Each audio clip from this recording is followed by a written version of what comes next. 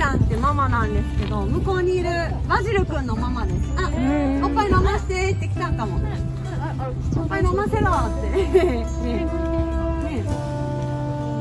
なんでお腹すくのでよかったら大人のカンガルーさんに餌やりあげてください。赤ちゃんはちょっとまだミルクオンリーでちょっとだけ大人の食べ物を食べてきているんですけど食べ過ぎるとお腹壊しちゃうのでお願いします。